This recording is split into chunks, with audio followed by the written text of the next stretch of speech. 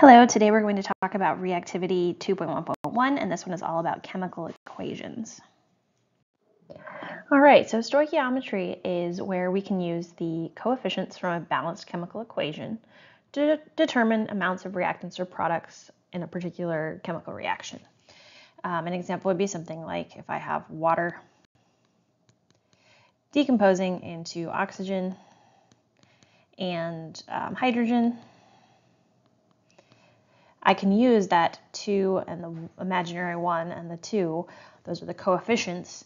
I can tell that the um, water is used up in the same ratio that hydrogen gas is produced, but you have um, half as much oxygen gas produced as you do hydrogen gas.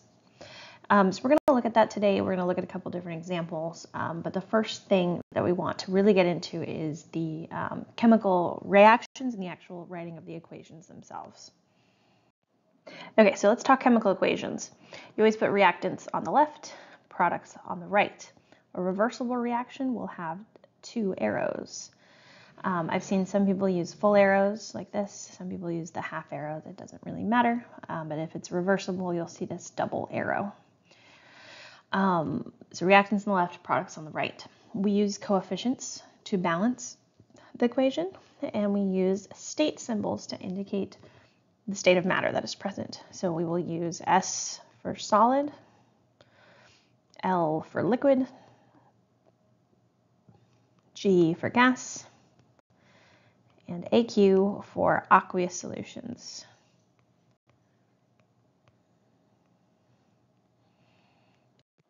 Okay, so all reactions have to be balanced in order to satisfy the law of conservation of mass. Um, so let's look at that example from earlier. If I had water decomposing into oxygen and hydrogen gas, um, I have two hydrogen atoms on my reactant side and two on my product side. But I have only one oxygen on the reactant side and two oxygens on the product side. I can't just create an oxygen out of nothing. Um, so I'm going to write this one out so you can see it, um, but eventually, hopefully you'll just do this in your head you can see that I need to increase the amount of oxygens. The only way to change the amount is by putting a coefficient. I need to multiply my oxygens by 2, but the only place to put it is out here in the front. So that's going to change both the amount of hydrogens and the amount of oxygens. So I need to make the hydrogens match now, and in order to do that, I need to multiply the hydrogens by 2 on the product side which changes it to 4 and gets it balanced. Let's look at another example. Let's say I react hydrogen gas with nitrogen gas to form ammonia. Okay, and again, I'm going to write it out so you can see, but you can do this in your head once you get used to it. Hydrogen, nitrogen, two hydrogens, two nitrogens, three hydrogens, uh, one nitrogen right now. When you see there's a 2 and a 3, you go for the least common multiple, which is 6. So I can multiply this side by 3 to give us 6.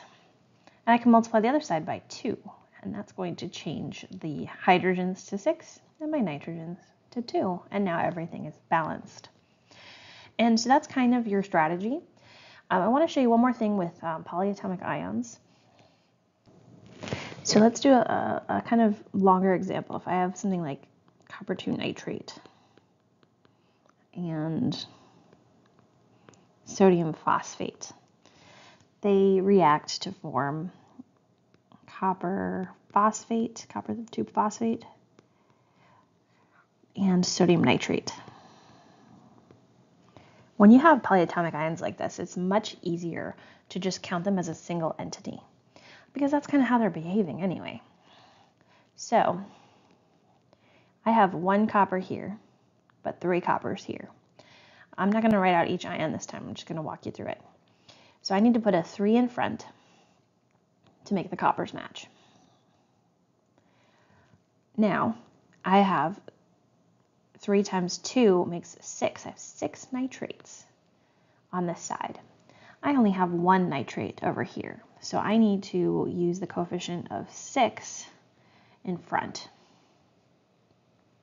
So now I have the same number of nitrates on both sides. Now let's look at sodium. I have three sodiums, six sodiums. So I, in order to make that match, I need to multiply this side by two.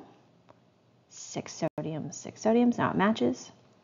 And lastly, I've got two of my phosphate ions, two of my phosphate ions.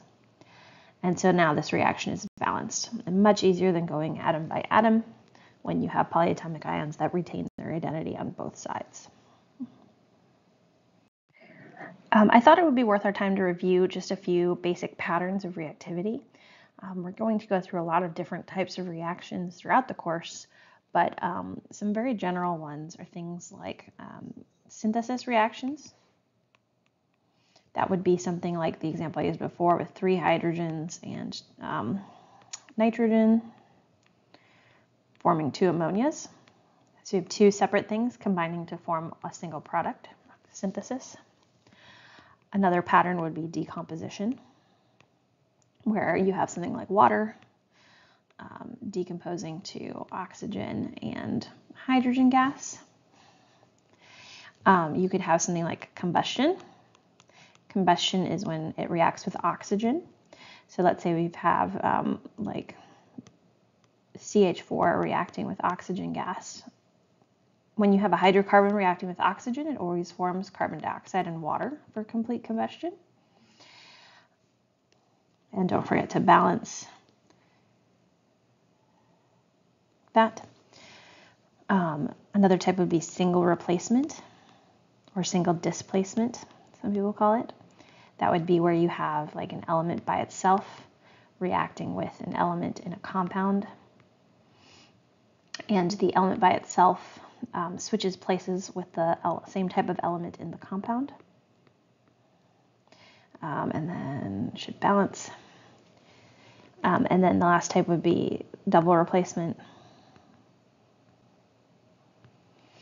Um, so something where you have like you have two compounds. Um, so let's say I have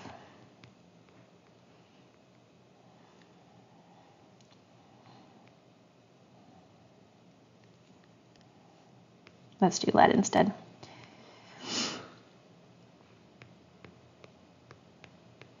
And then the first two elements are going to swap partners.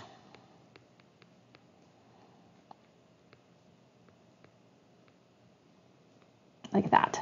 So that would be a double replacement reaction. Now these are some just general patterns. We're also going to go through different types of reactions like redox reactions and acid-base reactions and then like gas producing reactions. Um, but this should get us started on some different like patterns of things that you're going to see for chemical equations. Okay, um, so for this example, we need to write an equation for the decomposition of sodium hydrogen carbonate into sodium carbonate, water, and carbon dioxide. Um, so we have NaHCO3 is breaking down into sodium carbonate water and carbon dioxide. Um, now at, there we go. We always need to make sure that the reaction is balanced. So if I have one sodium, two sodiums, I need to put a two there. Now I have two hydrogens, two hydrogens, two carbons, one, two carbons, and I have six oxygens total there's three here, one here, two here. That adds up to six total. So now my reaction is balanced. And there's my balanced chemical equation. For this example, it says to write a balanced chemical equation for the combustion of a magnesium strip, so solid magnesium, and oxygen gas to form magnesium oxide powder, MgO. And it's a powder, so it's a solid. And then you would need to balance, there's two oxygens, so you need two, and then two magnesiums. Okay, so here's a couple more balancing um, examples. I'm going to rewrite it so I have more space. Now I have four carbons in my hydrocarbon there. This is a combustion reaction. So I'm going to put a four to balance the carbons. Then I have a 10 for the hydrogens, so I could put a 5 here. Now the problem with this, let's see, if I count up my oxygens on this side, I have 8 here plus 5 here, that's 13 total. Well, I don't have a way to divide that by 2 evenly. You could put 13 over 2, but most of the time you need whole number ratios. So a way to get around that is then you put a 2 in front of here. Now I have 8 carbons, 20 hydrogens, and now my oxygens are sitting at um, 26. 16 plus 10 is 26. Well, 26 is divisible by 2, and that gives us the 13. And so now we have whole number coefficients for our balanced reaction. For our second example here, we've got our ammonia and oxygen forming NO and H2O. If I look at the hydrogens, I have a 3 and a 2. The least common multiple of 3 and 2 is 6. So I need to multiply to get those both equal to 6. Now I have two nitrogens, two nitrogens. I just did hydrogen. I have two oxygens on this side. On this side total, I have 2 plus 3. That gives us 5, which again is not divisible by 2 evenly. So if I want whole number ratios, I can multiply everything by 2. So I would have 4 NH3 plus 5 oxygen gives me 4 NO plus 6 H2O. So that way we have 10 oxygens, and 4 plus 6 is 10 oxygens on the products, and everything is balanced this way. Now this links to reactivity 3.2. When is it useful to use half equations? We can use half equations um, for redox reactions. Redox reactions always have a portion where it is losing electrons, which is oxidation, and a portion that is gaining electrons, which is reduction. So we can isolate the losing and the gaining into two separate half equations, or we can put them together to get your overall balanced chemical equation.